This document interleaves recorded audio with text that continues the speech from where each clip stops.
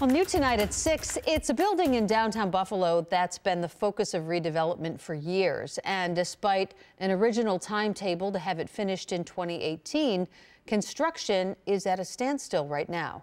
Two on your side's Nate Benson takes a look at what's going on with the Trico building. This was a project I was very hesitant about uh, from the beginning. And by all accounts, the Trico building redevelopment was plagued from the beginning. In 2016, the Krog Group was awarded a $3 million tax break from the ECIDA. One of the items highlighted in that agreement is that the Trico redevelopment would create 130 full time jobs and an unspecified number of construction jobs. In 2016, Peter Krog said he hoped to have the project, which would be a hotel and mixed use space as well as a 300 car indoor garage, would be completed by 2018. In fact, demolition on the property didn't even begin until summer 2019. And then the pandemic hit in spring of 2020, and everything came to a screeching halt. So we're going to put out an executive order today. New York State on pause, policies that assure uniform safety for everyone.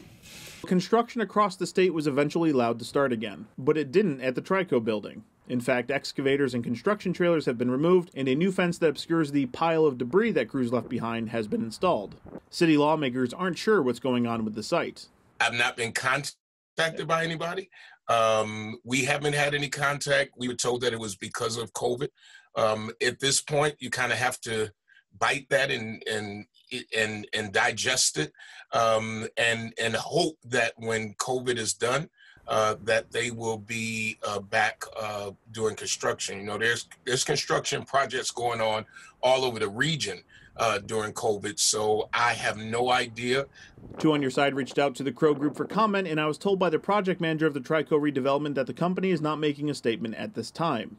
I also reached out to the ECIDA to find out if the construction stoppage has impacted the tax incentive that the Krog Group received in 2016. After repeated attempts to get clarification and information from Mayor Brown's office, they have not answered any of my questions.